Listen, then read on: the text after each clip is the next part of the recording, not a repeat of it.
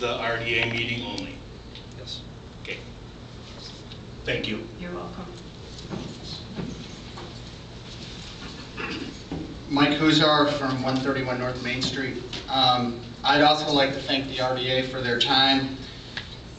And I find it interesting that we say the property is really hard to sell, then why don't we just put a sign up that says property's free?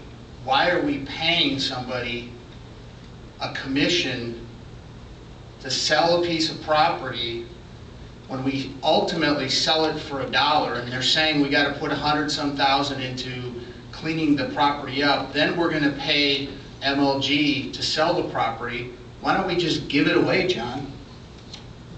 Why are we paying tax money, good tax money, to give away property?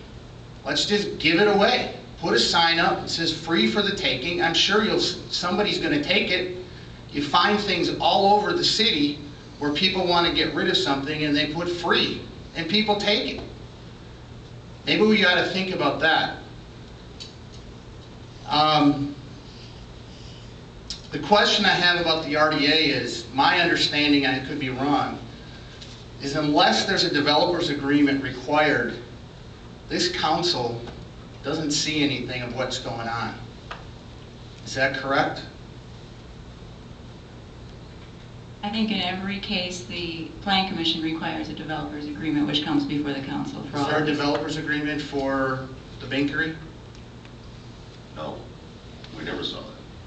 I don't think there was one for the Bing Creek. No. So then it's not in every case that there's a developer's agreement. Get your information straight before you speak. So with that thought, I go along with what Ed is saying, that somebody needs to have some accountability to the taxpayers of what's going on with the RDA. And it's the people that we're electing to represent us. It's not just all of a sudden in a back room, something can happen and mysteriously appear, and we end up where we're at today. Because to some extent, I think that's what happened with this deal. Until the developer's agreement came out, nobody knew what the RDA was up to unless they read the minutes. I agree with Brian. I think somebody needs to be sending more information out, letting people know what's going on. You guys are all busy, we're all busy, everybody's busy in their lives, but you have an obligation to the taxpayers to keep us informed of what's happening in this community. And you can sit there and say, it's your obligation, but you know what, it's your obligation because we put you there. The other thing that, that I um, would really like to know is how many times has the RDA gone against city planning and said, you know what, John, your office doesn't know what they're doing. This doesn't make sense. We shouldn't do this.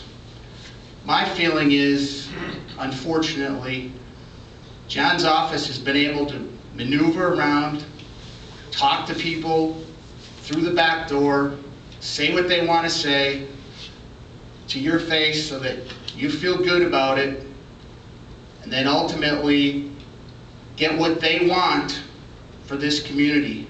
Not what the community wants, but what a small group of individuals in the Community Development Office need or want for their ego or whatever we want to call it. And I've sat in a lot of meetings. I was in the Camaros meetings. Um, I question how much of that Camaro study was ever even used. Just like all, a majority of the other studies that were done for the downtown, they're put on a shelf and maybe they get dusted off. It's what the community development wants and not what the citizens of this city want. And I really want an answer on that question of how many times the RDA went against